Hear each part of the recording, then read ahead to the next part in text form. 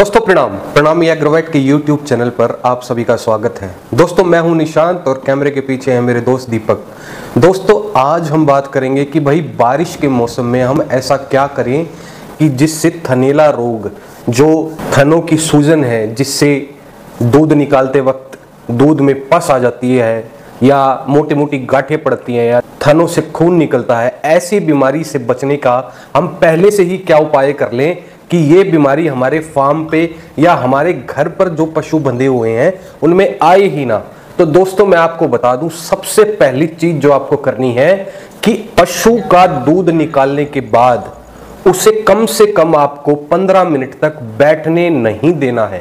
ये आप बहुत ज़रूरी स्टेप मैं आपको बता रहा हूँ कि 15 मिनट तक आपको अपने पशु को नीचे ज़मीन पर नहीं बैठने देना है। उसका मुख्य कारण क्या है? कि जो छिद्र जिसमें से दूध निकलता है, वो अभी खुले रह जाते हैं जब तक पशुपालक उसका दूध निकालता है। उसमें कम से कम 15 मिनट का समय लगता है वो छिद्र बंद होने में।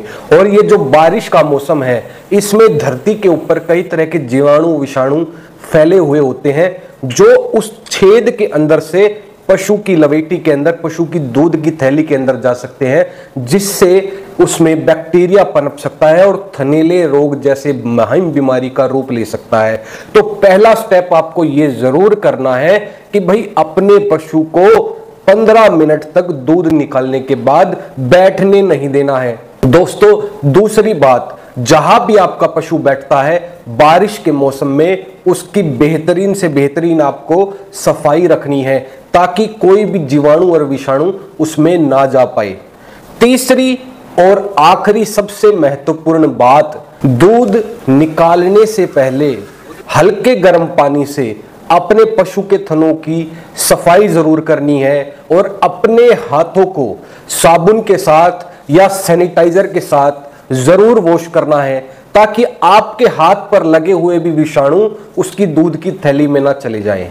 और दूध निकालने के बाद एक चुटकी लाल दवाई थोड़े से पानी में डालकर उस लाल दवाई के पानी से उसके थनों की सफ़ाई करनी है, जिससे उसका जो लवेटी है वो पूरी तरह से बैक्टीरिया रहित हो जाएगी, जब वो फर्श पर भी बैठेगी तो भी बैक्टीरिया उसकी लवेटी में प्रवेश नहीं कर पाएँगे। वो जो लाल दवाई का लेप है, वो जो कवर है, वो उसको पूर्णतः सुरक्षा देगा। दोस्तों, ये बहुत महत्वपूर्ण तीन चार बातें हैं जो आपको थनेला रोग होने से या थनों की सूजन होने से पहले ही करनी है, ताकि इस बारिश के मौसम में आप इस खतरनाक बीमारी से अपने पशु को बचा सकें।